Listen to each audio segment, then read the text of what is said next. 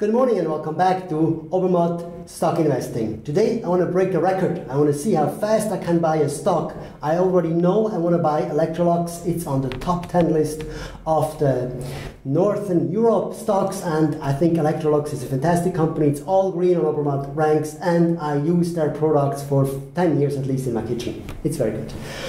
Well, let's see how long it takes. I have here a timer and I start. I see how long it takes to buy Electrolux. The first thing I do, I go into my password manager. I log into my password manager.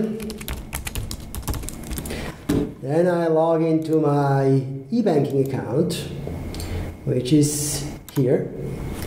And then I start in the home banking my login process here Perfect. This gives me a text message. Sometimes it's not that fast. Well, this time it was quite fast. Um, w Y J D S Z Y. I log in. This is something you have to do slowly because otherwise you have to do it twice. That wasn't the first time. I look for the ISIN number for Electrolux Electrolux. The ISIN number, it's right up here. Oh, this one I can't copy well here. I can copy it directly from the Google search result. I go back into my e-banking. I say buy. It's gonna look up the stock. You found it already. It costs 230 Swedish krone in Swiss francs. So I convert that in Swiss francs. It's 26 Swiss francs. I divide 5,000 francs, which is what I invest every week, um, and I get 185 shares. Um, I like that a lot. Um, let's buy 200, and I'll buy. And the limit, oh, I don't take limited, I take at market because you know I'm buying once, I keep it for a long time, and that's enough. Um, the amount is not available in the account. Available amount dashboard.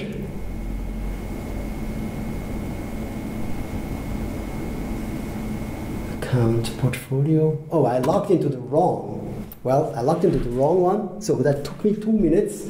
I have to make another record. Uh, this is the first, it was the first season portfolio. I log into the correct, um, I log into the correct um, e-banking account, which is here uh, under, so let's say again, this is here. I log into the correct e-banking account, I'll try again.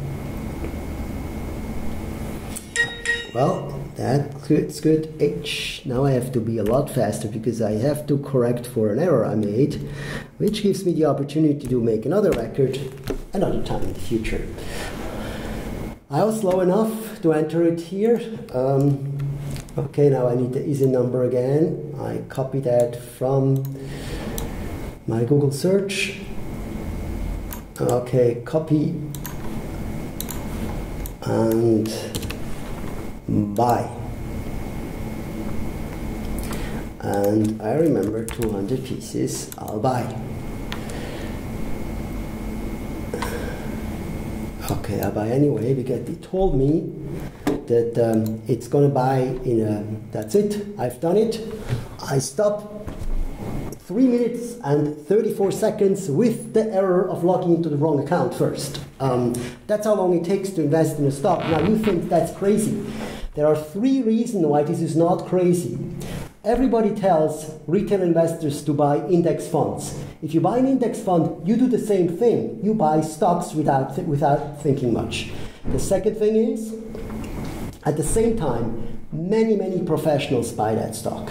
So it means other people with a lot of research buy it and are happy with it. Why shouldn't you be happy with it? And third, if you don't do it, if you leave your cash on your account, you're going to miss about 90% of your end wealth 30 years down the road. Yes, that's true. If you don't buy right now 100 in, uh, in stock, it means you're not going to have 1,000 in 30 years down the road. You have, you're going to have only a little bit over 100. And that's a terrible loss. So it's better you do it right now. It doesn't take much. It only takes 3 minutes and 34 seconds. Good luck with your own stock investing and bye-bye.